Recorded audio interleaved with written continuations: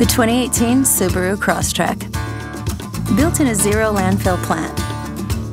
So you can roam the earth with a lighter footprint. Subaru, proud sponsor of Growing a Greener World.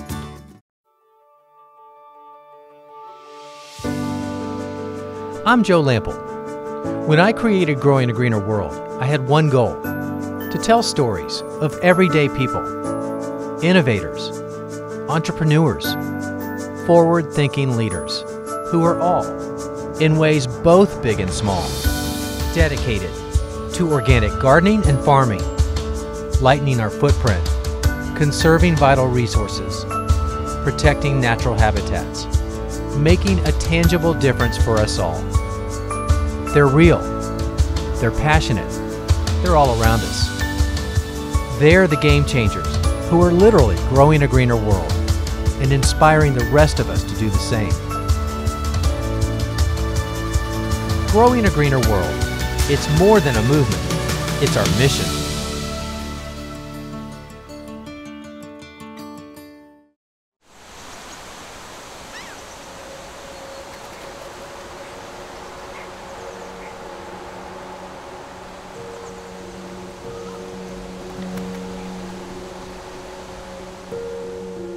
The goal of any landscape designer usually boils down to one simple thing, enhance the natural beauty of the location. But achieving that goal is rarely simple because so much is dictated by the site itself. The environment, the location, the topography, enhancing the natural views while minimizing others, the history of the property, the existing wildlife, even access into the landscape itself. Each of those presents its own set of challenges in bringing to life the goals of the client. When you add to that the mandate that the design has to have a light environmental footprint and then be self-sufficient after the crew leaves, that's a tall order for any designer, especially when you consider that the property is over eight acres in size and isolated on an island with some of the most majestic views you'll ever see. And it's a once-in-a-lifetime project for any designer lucky enough to get the job especially with lots of design lessons that anyone can apply at home. Well, that's our story today. Welcome to Whidbey Island.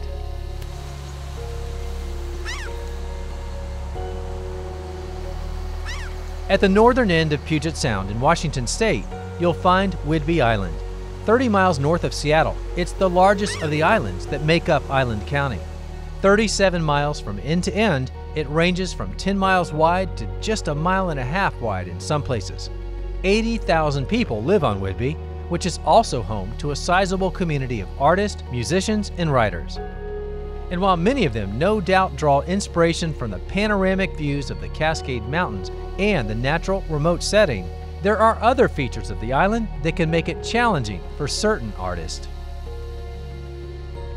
Gardening in the Pacific Northwest presents a lot of opportunities. I don't see them as challenges.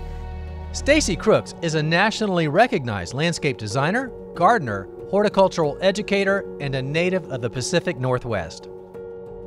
So we here have glacial till, which is left over from the last ice age that came through here about 17,000 years ago.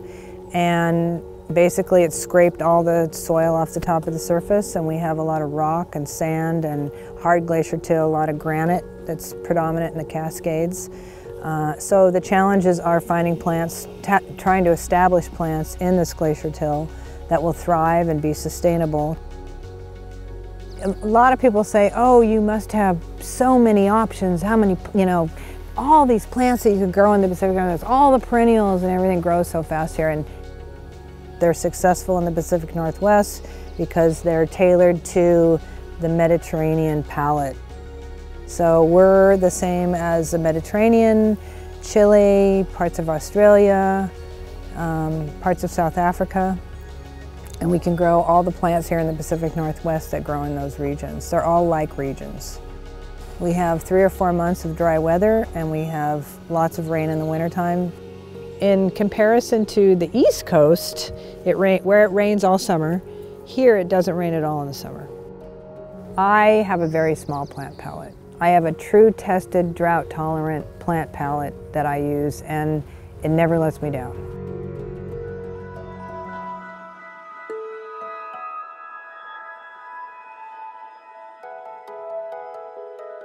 Stacie would need a good go-to bag of tricks for the project that came her way in 2013. A new client approached Stacie, a writer who was building a home on Whidbey Island, on the area called Midden Cove. And the eight and a half surrounding acres would need a special touch.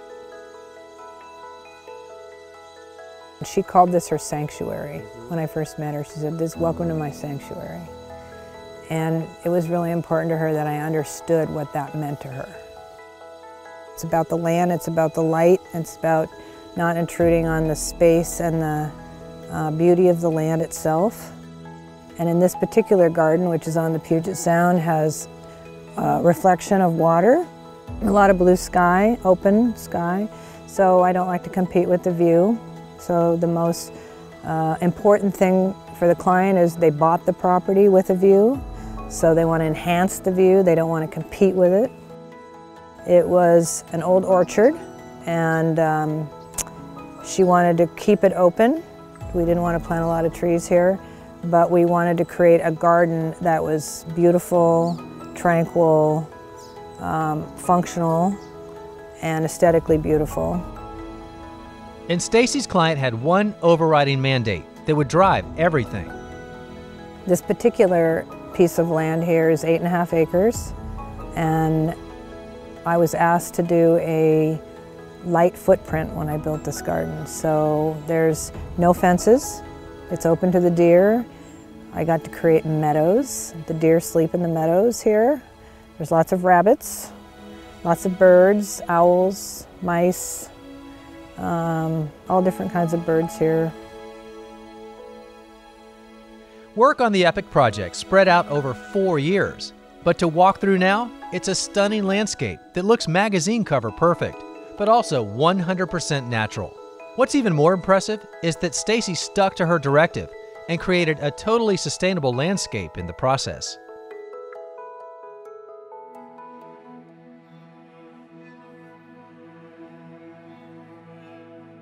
You know, Stacie, in the last few years of our traveling the country to film shows in different gardens and landscapes, I am seeing more and more of these meadows as an element of that overall design. And I have to say, I love it. It really provides that soothing feature and mm -hmm. it mm-hmm. connects the landscape from mm -hmm. one mm-hmm. area to the next too. Mm -hmm. So when I got to design this garden, it was one of the major components that I wanted to really bring into the design. Mm. So this meadow wraps all the way around this eight acres mm. and I used it wherever I could, keeping in mind that there was mowed paths for uh, people to visit and stroll along them and walk their pets and um, but it brings in the insects and the birds and the deer lay in here and take naps in the sunshine. And it's only mowed once a year. Right. It's only mowed in, in August. And so you've got low maintenance, yep. which is a big part no of water. a sustainable design. Yep. No water. It's yep. attracting wildlife, lots of insects and birds. Yep. Yep. So it's kind of the best of all worlds. It is. It's a win-win. It really is. If you've got the space to do it, it's it's beautiful. Most people think they're quite easy. You just stop mowing your grass and you have a meadow, but you, it's really quite the long process. It took about five years to get it to where it is now. It's two years of eradication, of stripping off the top layer of thistles, invasive species, and, and everything you don't want in your lawn, and then uh, letting it sit, go fallow, and eradicating the things that come up through the seeds that are still there or that are being dropped by birds, thistles, things like that. And then we amended the land with uh, chicken manure, turned it all over and created a, a base for hydro seeding. And we seeded it with a meadow seed. And so they were treated like a lawn in the beginning. So we irrigated them the first two summers and cut them like a lawn. We cut them long, but we cut them so that the root systems could develop deep. And then last summer was the first summer, it was the fifth summer. We didn't cut them. But when we cut it last August, I thought it would just be a big tangled mess, but they just cut it with a big field mower and just let it lay. And it went through the winter like that, and, and all the new grass and all the new, it just became its own fertilizer, like when you thatch your lawn, and it came right up through it, and it was just, it's been beautiful. Eh, there's a lot of wildlife in here now, more than there was before.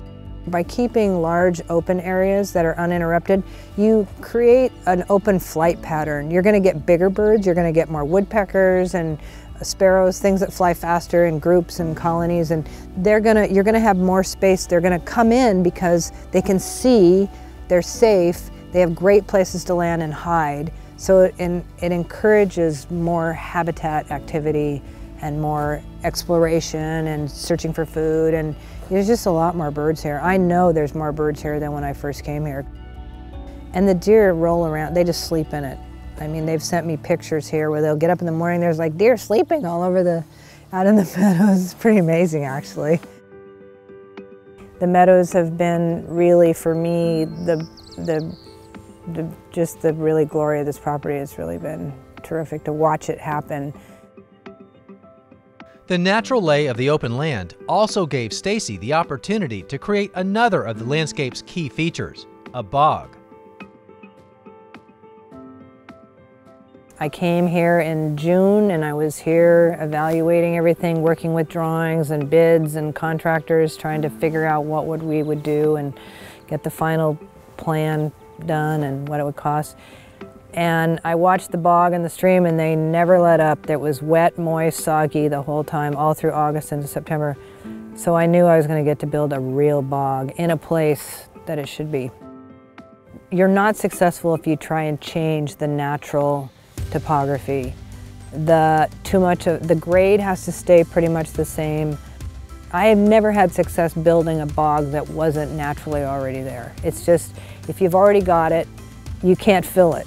It will, it will come back. It will just seep up. It just needs to be there. So we enhanced it.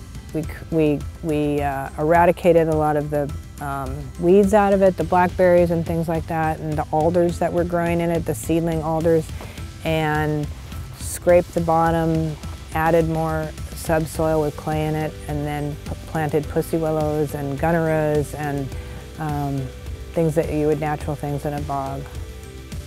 And it's full of horsetails, but those that's where they want to be, and you can't fight them. You got to learn to love them. If you chop one up, you're going to have 50. If you pull it, it's going to spread underground into more. So we decided to, to leave the horsetails. And I think it's really pretty. It's pretty. I mean, it's part of it. It's just part of it. And they're not anywhere else because we haven't disturbed the soil. That's another reason not to change the topography. Every time you change it, something's going to happen. It's going to change a lot of things, not just one thing, not just the shape, but it's going to change. It's going to change its own little ecosystem. If you can work with the natural topography, you're light years ahead of trying to change anything because it's already here, it's already settled.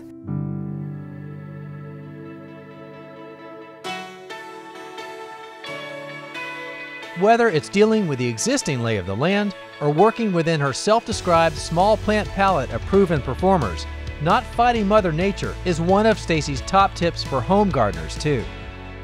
You can't emphasize it enough to use the right plant in the right place. So it's, a, it's also about the combinations of the right plants.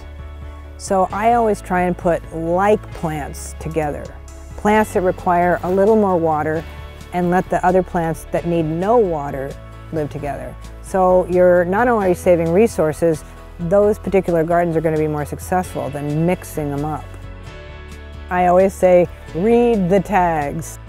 If you're not sure, and if the tag isn't clear and, you're, and there's no tag, find a nurseryman and ask them, before you invest your money and buy this plant that you're gonna take home and plant in the wrong place, it's gonna get too big, it has to be pruned all the time, you're losing resources. Not only you, but the water and you know the fertilizer, everything you, that that plant's gonna require, it needs to go someplace where, in theory, you shouldn't even have to prune it. You shouldn't have to deadhead it, you shouldn't have to do anything unless you choose to.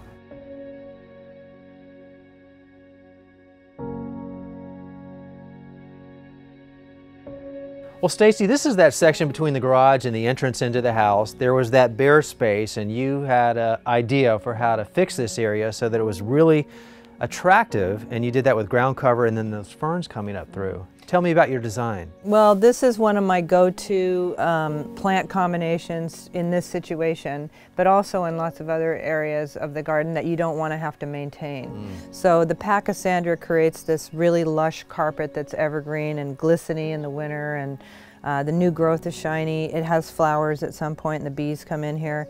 And then I add, I like to add my favorite fern, which is the autumn fern. Brilliant is the variety of it with its bronze fronds. And this time of year, things are just kicking up. Spring, you know, it's post-spring.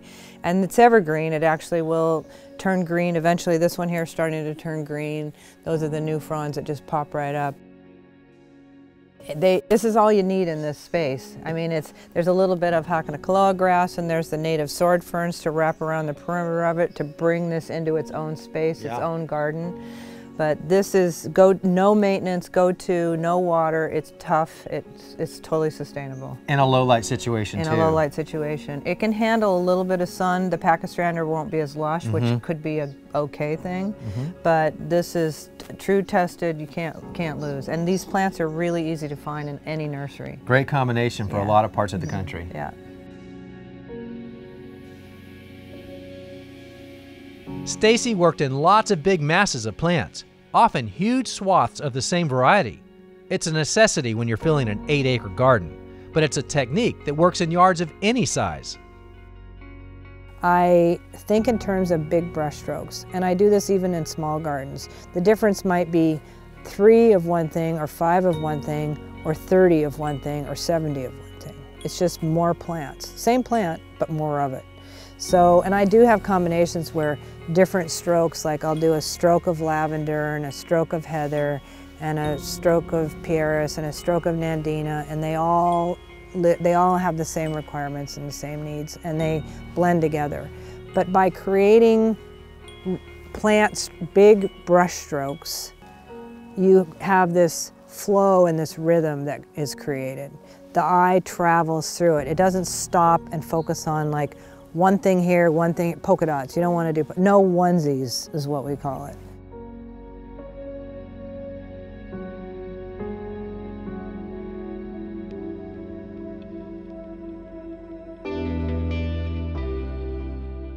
Many people shy away from planting in large masses the closer they get to the house because they're worried about overcrowding the home or visually overpowering it. But Stacie says that's exactly where you need to be paying the most attention to your plantings. The numbers, the sizing, the colors, those are the details that can accentuate the home best. Stacie, what strikes me as we walk this landscape is that you have lots of pops of color everywhere, but then as we come up to the house, I really feel this sense of calmness and this soothing feel around.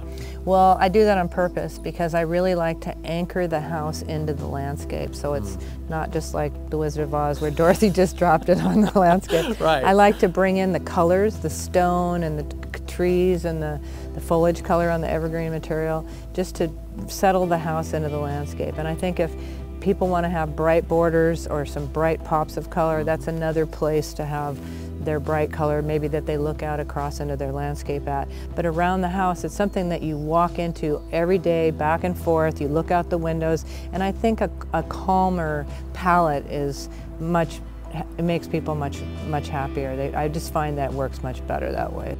I like it.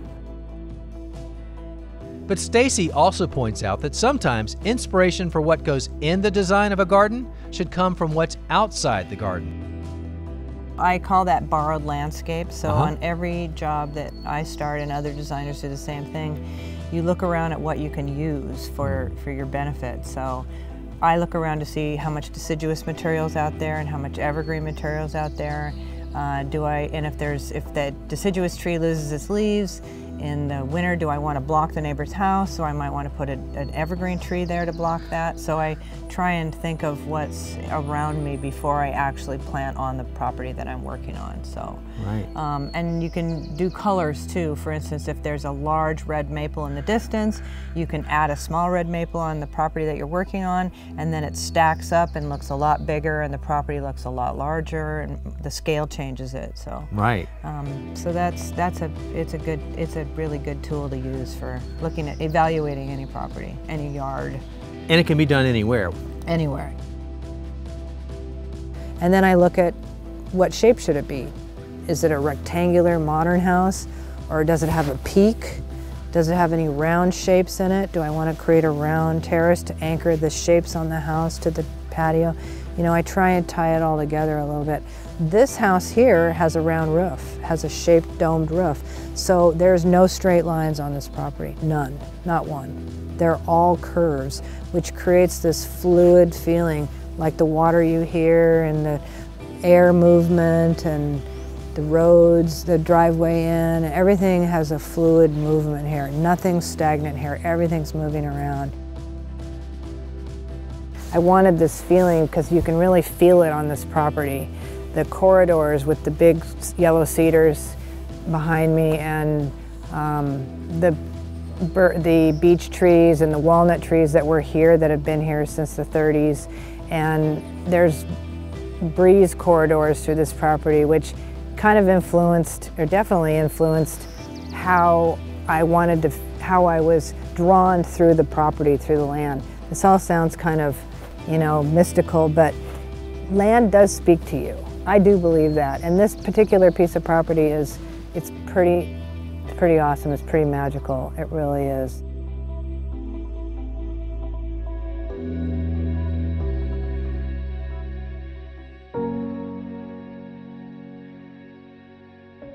Stacie's core principles for sustainability aren't highly technical or overly complicated.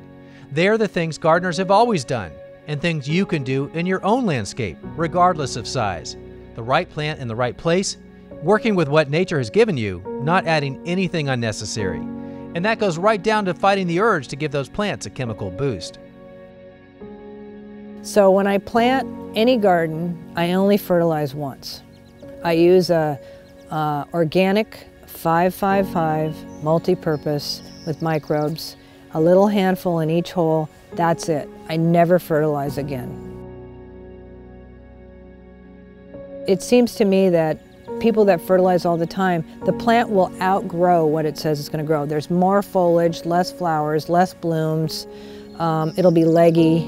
It just outgrows the size that it's just been overfed you know, and it's just going to grow too much and it's not going to maintain the scale and the flow of the rest of the garden that you wanted like the tags, like your homework, like you planned. The more educated you are, the more sustainable your garden's going to be because it can, it'll, it'll thrive on its own with very little care. It doesn't, sustainability doesn't mean to me native, wild, you know, let it be, let nature take care of it. Sustainable to me just means that the garden can sustain itself without much care from you. Because the plants will have their, their needs met, you will not have to, you know, take care of them. They'll take care of themselves. That's what sustainability is all about. And you'll have great pleasure and you'll be proud of what you did and you'll have many years of a healthy garden to enjoy.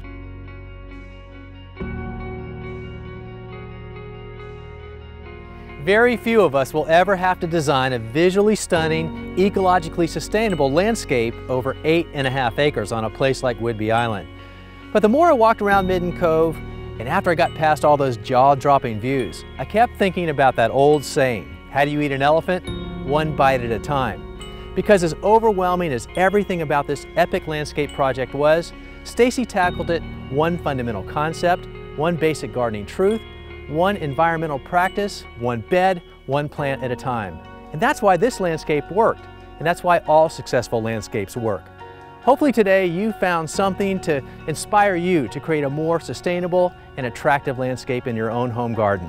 If you'd like to learn more about Stacie and her work or watch this episode again, you can do that on our website under the show notes for this episode. And the website address, that's the same as our show name. It's growingagreenerworld.com. Thanks for watching, everybody. I'm Joe Lamp'l, and we'll see you back here next time for more Growing a Greener World.